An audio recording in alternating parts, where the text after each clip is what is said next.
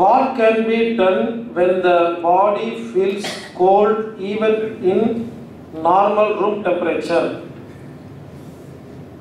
சாதாரண ரூம் டெம்பரேச்சரில் கோல்டு வந்துச்சுன்னா பாடி குளிர்ச்சியாக ஃபீல் பண்ணால் என்ன பண்ணணும்னா யாருக்கு குளிச்சு தெரியும் தெரியுங்களா? உடம்புல காற்று பத்தலைன்னா குளிச்சு தெரியும்.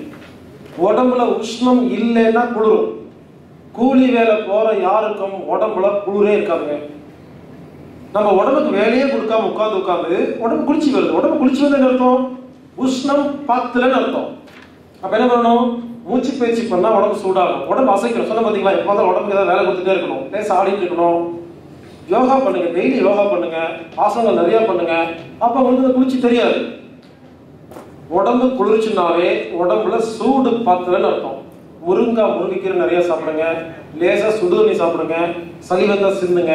இந்த டெக்னிக் எல்லாம் பயன்படுத்தி வந்தீங்கன்னா உடம்பு சூடு அதிகமாகும். ஒருவேளை குளிர்ச்சியா இருந்துச்சுன்னா ரொம்ப சிம்பிள் டெக்னிக் ஆக ஒளி தியானத்தை அஞ்சு நிமிஷம் பண்ணுங்க. அடுத்த நிமிஷம் சூடாயிடும். அப்படியே கலந்து மட்டும் திருப்பி யாருக்கும் தெரியாது. மெதுவாக திருப்புங்க. அப்படியே திருப்பாருங்க உடனே சூடு அதிகமாயிடும். அப்போ அந்த குளிர்ச்சி தெரியாது உங்களுக்கு.